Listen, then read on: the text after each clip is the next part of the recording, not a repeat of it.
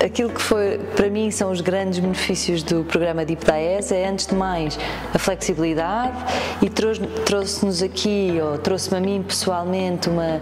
uma grande elasticidade de temas, o que permite também, de alguma forma, eh, sairmos da nossa zona de conforto e daquilo que fazemos no nosso dia a dia, eh, mas não nos cingirmos a uma área específica eh,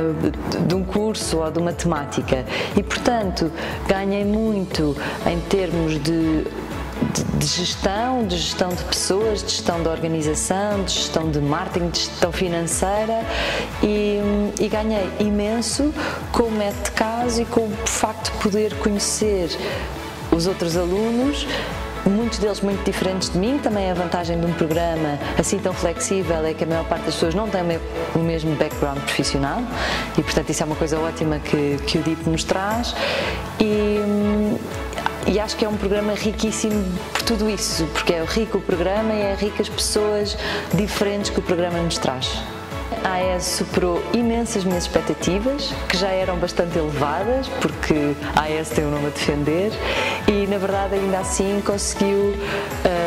trazer muito mais do que aquilo que eu esperava. Estava à espera de ferramentas muito interessantes uh, na minha vida profissional, mas acima de tudo trouxe todas essas ferramentas, algumas que eu não contava,